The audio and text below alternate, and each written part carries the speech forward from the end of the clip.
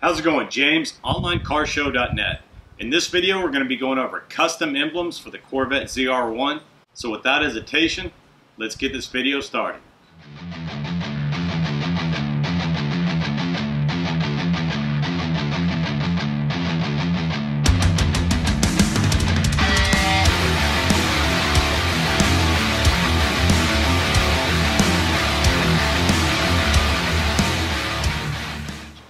Well, just to go over channel news, events, and what's been going on. We've got the Crew on Deck toy drive coming up, and in the previous video I put their Instagram wrong. It's Crew on Deck HTX.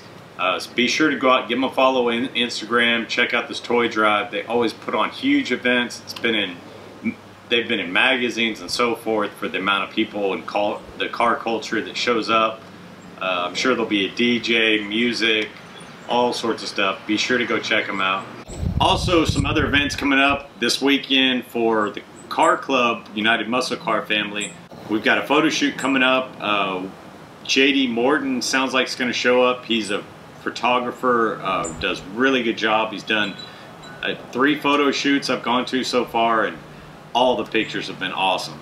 Uh, if you need a photo shoot, a photographer for car here locally in Houston, check him out. That's JD Morton underscore on Instagram. Uh, as far as upcoming stuff for the channel, uh, I do need to edit the website to add the mods. You can go through my mod list for the Corvette, Camaro, and Focus on the website onlinecarshow.net. It's got a nice breakdown, and I've also got everything organized in a playlist here on YouTube. Uh, so be sure to check out my playlist. As always, go ahead and hit that like and subscribe below. It helps my videos to grow and helps support my channel.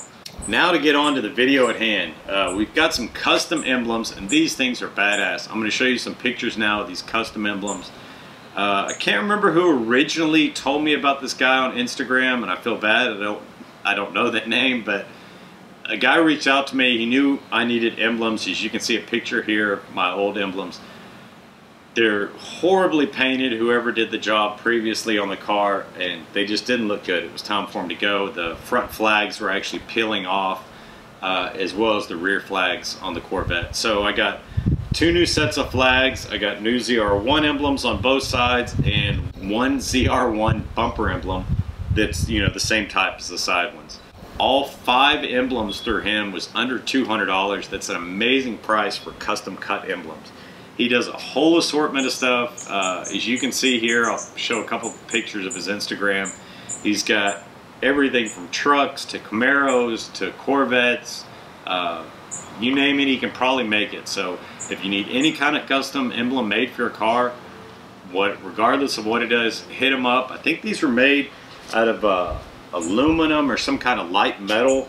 The machining work on them is really good, if you can see here in the picture.